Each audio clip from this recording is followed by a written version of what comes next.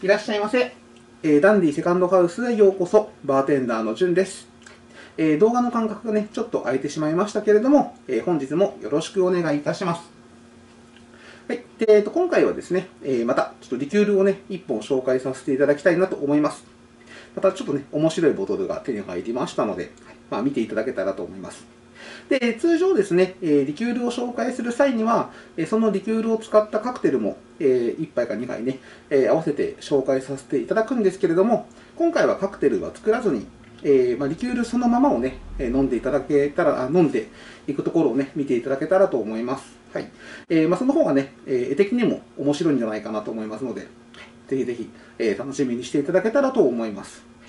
えーそれではね、早速紹介していきたいと思いますので、えー本日もよろしくお願いいたします。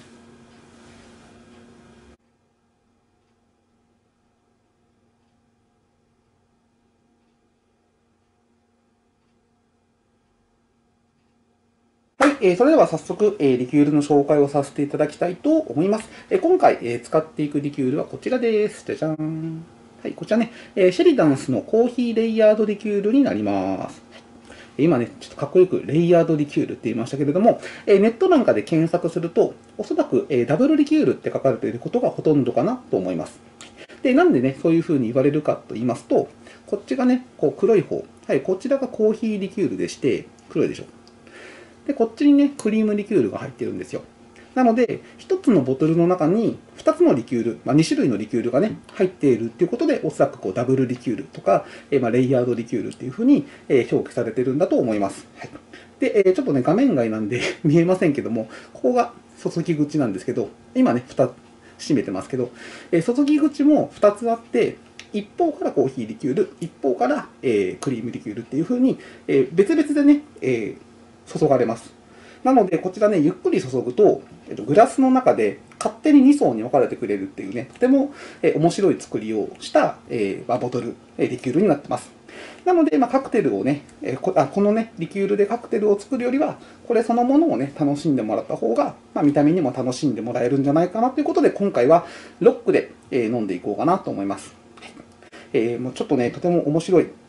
まあ、僕もこれ初めてね、見たときは本当に衝撃だったんですけど、本当にね、2層になるので、はい。えーもうぜひぜひ楽しんでいただけたらと思います。えーですけどね、ちょっとこれもう 開けてはいるんですけど、本来、クリームリキュールの方が減りがね、遅くなるはずなんですけど、なぜか今回ね、このボトル、コーヒーリキュールの方がね、たくさん余ってるので、ちょっとハプニングで、はい、あの、クリームリキュールの方が多く出ちゃうかもしれませんけれども、まあ、そこはちょっとね、えご了承いただけたらと思います。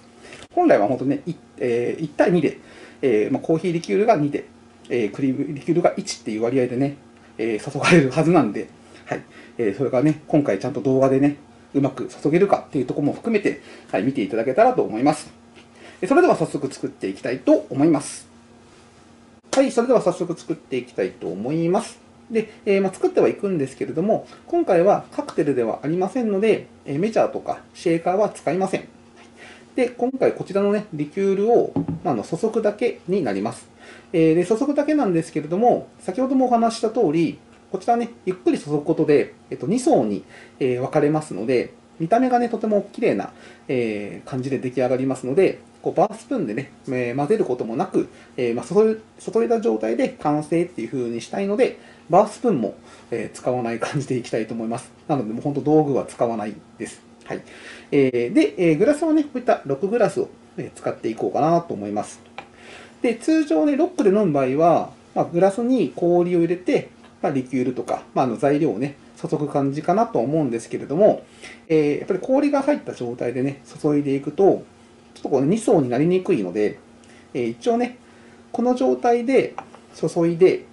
2層になったところを見ていただいて、で最後に氷を1個ね、ポンと、えー落として完成っていう風にしたいなと思います。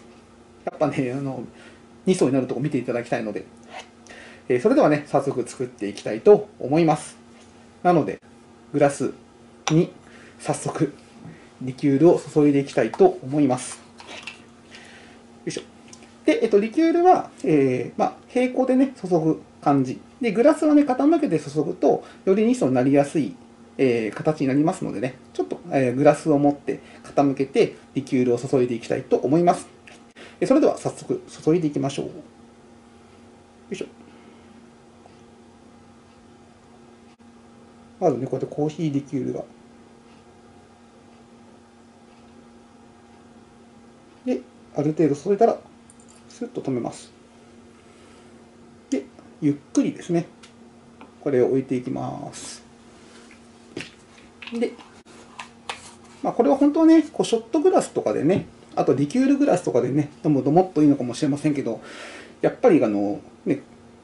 まあ、冷たい方が飲みやすいですし、まあ、氷が入った方がね、ちょっとこう薄まって、え飲みやすいかなと思うので、やっぱ今回はね、ロックっていうことで、このロックグラスを使っております。で、こんな感じで、2層になってるのがあるんではないでしょうか。はい。こうなれば完成になるんですけれども、